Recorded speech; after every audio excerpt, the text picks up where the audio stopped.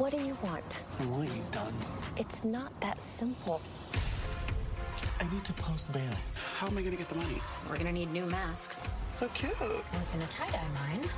Oh, Open the safe! It's on a timer. Why don't you just come back in the morning? What?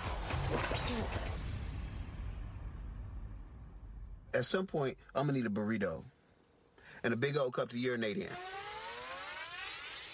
Good Girls, next Sunday on NBC.